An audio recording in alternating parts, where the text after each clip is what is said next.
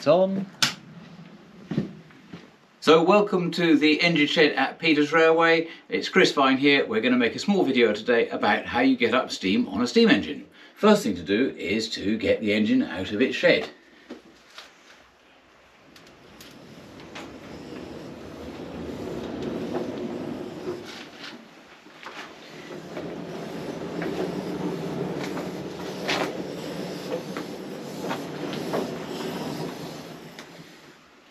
So here we have one locomotive, it's called Bongo in real life, in the books it's called Fiery Fox. So um, let's get up steam. So the first thing we need to do is to attach the little blower to um, help get the fire going. That's a pipe that can go there. It's a little electric fan. Once the engine's going it makes its own, it makes its own uh, draft. But to start with you need a little bit of assistance from an electric fan. Uh, we've got some coal here. It comes in a suitable size. It's called beans, anthracite beans. Um, and the only thing is, it's quite difficult to light uh, coal directly. So we're going to use some uh, charcoal I've soaked in paraffin earlier. And that lights very easy. It's almost like, like firelighters. But before we do that, we need to make certain there's enough water in the boiler. So I don't know if you can see in here. There's the two water gauges. And you can just see the water level down there. It's about a quarter full. If I just give it a little bit of a move, you can see the water's moving around nicely. That's not a bubble, it's not a sort of not a sort of false reading. So we've got about a quarter of a gauge of, of water, that is fine. So what we have to do is to light the fire. Here is the fire hole door, and I've cleaned it all out before. So what we can do is we can put, just to start with, a few little bits of, actually I've got some I've got some paper that I use for something that's soaked in, soaked up the paraffin, so that can go in there. And what I can do is to light the fire. Here we are. So this is the vital bit uh, one lighter. That lit easily. Ooh, get the little fan going. So that should now. That's right. That's drawing the drawing the fire through the boiler now. Get rid of that. So now we need a little bit of charcoal to go in there. Charcoal soaked in paraffin. Very, very combustible. Put a bit of that in. We'll put a few shovelfuls of this in. We'll put a little bit of coal in with it and get it going.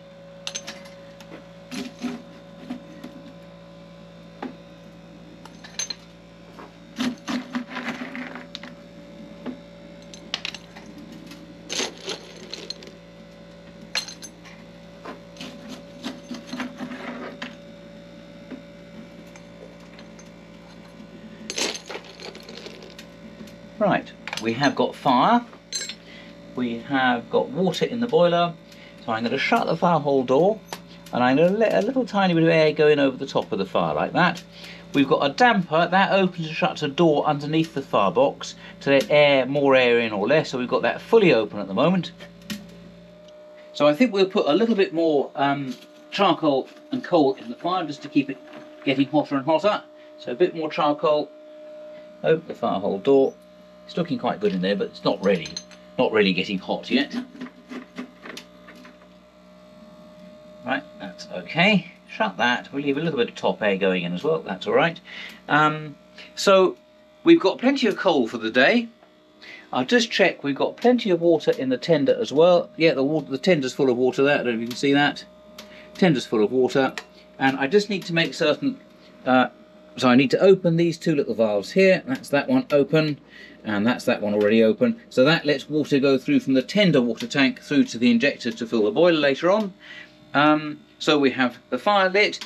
Uh, one bit, the boiler will be cold still almost, but the safety valves here, they're connected right through into the boiler part. So they're getting quite nice and warm to touch now. So it's warming up slowly. So we've got the fire lit, uh, we've got water in the boiler, and the charcoal is crackling away. And the next vital thing to do is to make the cup of tea. Uh, kettle has boiled, and uh, we have the very appropriate uh, uh teapot for a small railway, uh, Le Shuttle, since that's just down the road from where we live. I found that in a junk shop. So what we need is to put some tea bags in there. Damn the expense, two tea bags. Right, give that a few minutes. Right, tea is brewing. And we have two very suitable uh, mugs here. Uh, Peters Railway happy birthday from to Harry from Peter's Railway. And uh, here we have, uh, rather younger, Peter and Harry driving the engine. Cheers, Peter. Cheers. The next thing to do is to oil the engine. So I need to put my specs on so I can see all the little oil holes. And um, here we go. So this takes a moment to do. Let's get that out of the way. So uh, the first one to do is the bogey wheels. Little oil wells just in there. Nothing's happening yet. Something's gone in there. And the next one. Something's gone in there. Right, then what I do next is all the main connecting rods and coupling rod bushes.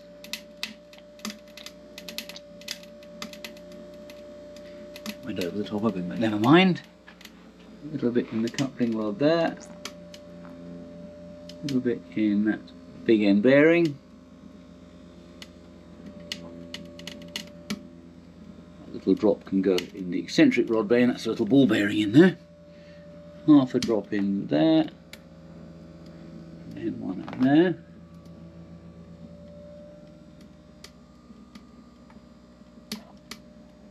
That's done one side of the coupling rods. Then we've got to do the valve gear. So, here's the combination lever. There's a little bush at the top there. There's a hidden one down in the back there. A little pin there. A pin there. And this is an important one. This is the little end bearing here, the little end of the connecting rod. Make sure that's got plenty of oil in there. Right, that's got that done nicely. And then some more valve gear parts here. So here's the expansion link for reversing and notching up. So we've got a little bit of oil in there that goes through two tiny little holes and runs down either side. And then we've got a little one to do there. That's that die block there. Little one there. There's a little teeny one up under there. Right, and then that's done all of that side of the engine here. No, it hasn't, sorry. There's these little oil boxes here. So these have got six little pipes out of each. So that one there goes down and feeds the crossheads for the uh, valve gear, the main crosshead, the guide bars for the main crosshead, and then there's a pipe that goes down to put a little drop of oil onto the um, valve rod, and there's another one goes right down there, put a drop of oil every now and again onto the piston rod, and then, so that's done all of that now. Oh, and this one here, hang on, some oil in there. So that one feeds down to, there's two pipes with little bearings either side of, of the um, of the expansion link and then other pipes go down to feed the axle boxes where they slide up and down in the uh, in their slide so they can go over bumps and suspension. Right, so now we'll do the tender axle boxes. These just like on the big ones, they've little felts underneath there that take the oil up into the bearings. Two.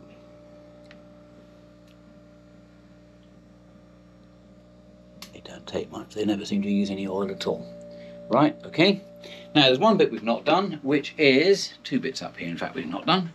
So here are the two mechanical oil pumps. This one's got six little uh, cylinders or pistons, and as the um, as the engine as the wheels go around, uh, this uh, expansion link rocks backwards and forwards. There's a little tiny crank under there which moves those little levers there backwards and forwards, which waggles that little lever. And there's a, there's a ratchet up in here, so every time it waggles, it moves it forwards just a little tiny bit. So perhaps I don't know 20 or 30 revolutions of the wheels to, to turn this thing round a whole loop. So then that's pushing down and pushing the oil into the main axle boxes of the engine, the main bearings on the main driving wheels. So the six outputs, three on that side, three on that one, and it's fairly full of oil. So we put a bit of oil in there. That's right, that's done that. Uh, and then the other mechanical lubricator here is this one here. This has only got two little pistons in it, two little plungers. So this is for pumping steam oil into the cylinders. So uh, again, it's driven by the ratchet, so it goes a little tiny bit each time, and it's lifting up and then when it gets over the top it pushes them down and that's now pushing oil into the cylinders so the oil is delivered through these tiny little pipes one into there and one into the other side uh, for the other cylinder so I need to put some oil into there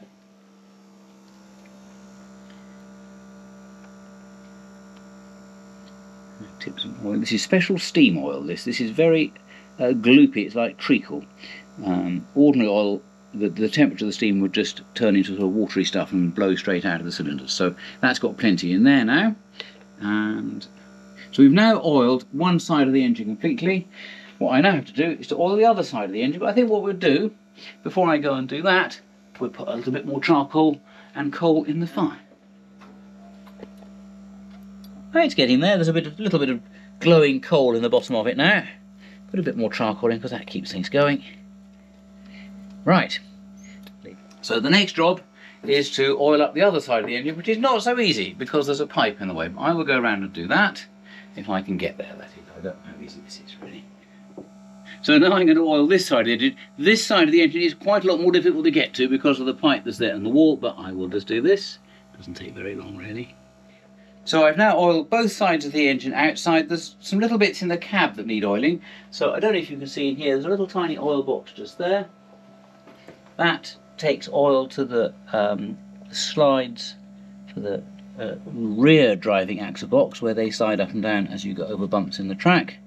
And then there's one on this side here. We'll drop in there. And then there's, a, there's the, the reverser screw that's in there, and I always put a little tiny drop of oil on that to stop that wearing out. Because that reverser screw is a two-start thread and was jolly difficult to machine when I made it, so I don't ever need to make another one. So that's everything oiled up now. Um, time to put some more coal in the fire, keep that going. I don't think we need any more charcoal now. Yeah, look, it's definitely getting proper hot in there now. So we'll put a little bit more coal in. One, two, so we might have got just a tiny bit of steam pressure in the boiler now. And my way of testing that is I just turn the injector steam on and here's the injector overflow. So we'll find out, ah, we have a drop of steam. There we are. So now what we can actually do, now we've got steam in the boiler, um, you may have seen some white stuff came out with that. I put a little bit of WD-40 up the injectors when I finish running and that gets rid of the water that sits in there and maybe corrodes the little cones, the little brass cones. So uh, we've got a drop of steam there. So what I can do now is to take this fan away. It's a bit hot obviously. Take that away. Hitch that up there. Turn it off. It's got rid of that noise. And now now that we've finished with that, we've got a little bit of steam pressure, we can turn on the engine's own blower. You can hear it pulling the fire actually if you listen. So we've now got the engine's own uh, blower running. It's four little jets of steam at the bottom of the smoke box and they blow little jets of steam up and they sort of grab, or entrain would be a good word, they entrain all the gases in the smoke box and, and throw them up the chimney and that uh, makes a slight reduction in pressure in the smoke box, which the effect of that is to draw air in through the bottom of the fire, through the tubes to make the steam and to keep the fire going. So uh, what we've got now is quite a good blast going up there. It's a bit quieter than, than the fan was. The only problem is that the uh, shed will now fill up with uh, smoke. So if I start uh, tears running down my face, it's not because I'm unhappy, it's because I can't really see what I'm doing. So we've now got the blower on, a little bit of pressure on the pressure gauge here. Look, now we can see that. You can see that the fire is looking quite nice and jolly. So here's the blower valve, and you can see if I turn the blower right down, you can see it, look, the fire's gone, oh, the flames come, whoa! That's called a blowback. So with the blower off, there's no, dra no draft through the fire. Turn the blower on, and you can see how it's drawing the fire through. So we leave that on like that for a moment. In fact, I think what I'll do is I'll put a few more shovelfuls of coal in. So we've got the fire lit, it's getting hot, we've got a little bit of steam pressure now, so we need to check that the injectors are working, so it's a good moment to talk about the injectors. So if we look in the cab here, we have got these two valves that are open, so they bring, they connect the water tank in the tender to the engine, and then if you look in here, we've got two other controls for the injector. Here's here's the water valve that I use when you, when you're driving the engine. Uh, that's, that's the water valve. It's a fine fine control on that one. And the other control here is for this injector is the steam valve. So to put water into the boiler, what we have to do first of all is turn on the water supply, and that is now running out over the overflow of the injector. And then what I have to do is turn on the steam valve, which I've got my fingers on there. Right, so I turn the steam valve on, and that if I turn it on slowly, that's now starting to force the water out of the overflow. and I turn it on more and more and more and then suddenly it will give it enough force to, I might need to just trim the water level, water rate back a fraction. There we are. So that is now feeding water into the boiler. It makes funny little sucking noises. It probably shouldn't suck air, in, but it does. So if we look in here now, I don't know if you can see the water level in the boiler. It's just at the bottom of the glass there, isn't it? So if we leave that on for a little bit, I put the blower up a bit because we're putting water in the boiler. We need a bit more heat from the fire. So the water level just about halfway up, and if you watch it for a moment or two, you'll see it's starting to go up now. So we're putting water from the tender tank into the boiler. The injectors are magic. They're not, of course, they don't defy any of the laws of physics, however, they do appear to be magic, no moving parts, and they use boiler pressure steam to force water into the boiler at that same pressure. Uh, but that's that may be for another video, how injectors work. So I think we've got enough water in the boiler now, so what we do now is to turn, first of all, turn off the steam, and then we turn off the water. So that has now put enough water into the boiler, and now it's time for some more coal. Right, that's coming up nicely. We turn the blower down a little bit. We've got plenty of water. Look, we've if we look at the water gauges, there's several valves on them. Uh, so this one here is just a blowdown valve. So if I do that, it just blows the, the, the, water and steam out so you can clear it in case there's a bubble or something making it not read truly. And the other two valves we've got in here, these ones at the, at the top and bottom of the water gauge. So they, if the glass was to break, the little glass tube in there was to break, you can shut these off. They're a bit hot. You can shut those off. So now, if the tube was broken, it's, it's isolated from the boiler. So if I do that, that's it, it's dead. The other thing you can do, with that open, I can now I can now open just this one and you can hear that that passage from the boiler is clear and if I open this one you can hear the top passage that the steam in it is clear and that's a way of checking both the clear because uh, this happened in the old days if one of the passages from the boiler to the top or bottom of the water gauge got blocked with scale or muck then the, the water gauge would give a wrong reading and if you get the water level too low in the water gauge then the top of the firebox overheats and then you have a boiler explosion. So it was actually very important that the, the driver or the fireman tested tested those uh, test cocks every day. We have another gauge on the other side, so if that gauge was to break, uh, we've got the other gauge there. So we're doing well. Steam pressure is coming up. We keep the blower on a little bit. That's okay. And on this side, we've got exactly the same. We've got the other, the right-hand injector. You can't really see, but under under the under the fireman's seat, there's a uh, there's another water valve. In fact, uh, I made two seats. There's a driver's seat as well. But when I'm sitting on the tender driving the engine, the, the seat gets in the way of the reverser and the brake valves. The brake valve's up here, so um, I take the driver's seat out. The steam pressure's coming up now. Uh, what's the what's the water? There's not a lot of water. I think we put a bit more water in. We'll use the we'll use the injector on this side this time, so that's opening the water. You can't really see that valve. Open the steam valve, and that is now putting water in again. Yes, the water level's about two thirds of the way up, up the water gauge glass. As an engineman would say, we've got two thirds of a glass, and uh, yes, the water level's going up slowly. On the full size engines, um, when they started out from maybe heading from King's Cross to Edinburgh, they would open the steam, they would set the injector running, set the, open the water and open the steam for the injector, and they would really just feed water into the boiler the entire time they were running. And the engineers were pretty clever. They got the injector size just about exactly right to feed the same amount of water that the engine was using as steam. The fireman could trim it a little bit with the water with, with the water valve, um, but the injectors were pretty much sized correctly, using one to feed continuously, and then they had another injector as a spare, or if they needed a bit more, a bit more water feeding in. So I think the water level's gone up a bit now. Can you see it up there? Nearly at the top of the gauge. That's okay. So we will now turn off the steam to the injector, and then shut the water level off again. Shut the water off at that little valve. So really, I think we better put a drop more coal in. So just do that. Right, shut that. Okay, now we've got the fire go, we'll let that flap shut. We'll just let that go. On the full size engines, the LNER full size engines, they actually fired through that flap. So what they would do uh, because you don't really want a lot of cold air going into the top of the firebox because all it does is go through and cool the fire. They would fire through that flap. They would the fireman would shovel through like that, and maybe his coal was a bit smaller than mine, um, and he could just fire fire through the flap, and the flap would shut each time he'd done it, or he could set it. There's a little ratchet there would let it stay open, um, but really they would never open the fire hole door like that to fire. It was firing through that little flap on the on the London North Eastern engines. So we have fire, we have water in the boiler, we have steam pressure, pretty much at full pressure, not quite. Um, we'll put the blower on a bit more, pull the steam pressure up a bit more. Um, so really we're probably ready to uh, drive the engine outside. What we need is a seat for the driver. So we have a seat which goes on the back of the tender, very gently so as not to spoil the paint. And the other thing we need is a footrest for the driver's feet. So there's a little tiny pair of holes under the tender that goes there. Of course, a vital part of the engine is the whistle. There's, there's uh, a, a, little uh, handle you pull down there.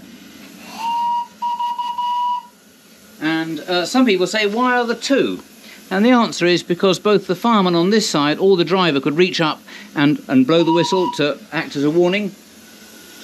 And uh, so both the fireman and the driver would act as lookout. So we have got steam, We've got the drains open. I'm now going to put it in reverse gear and toot the whistle before we move.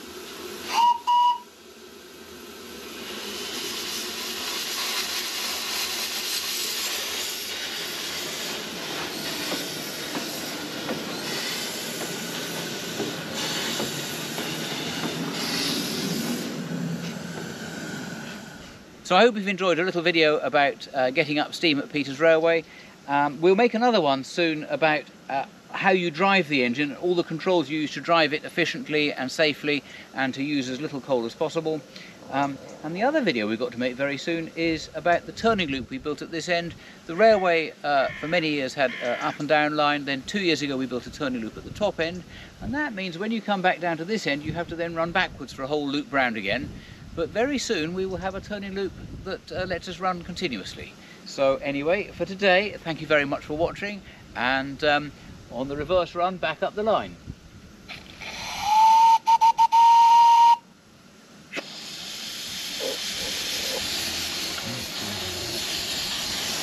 Bye-bye.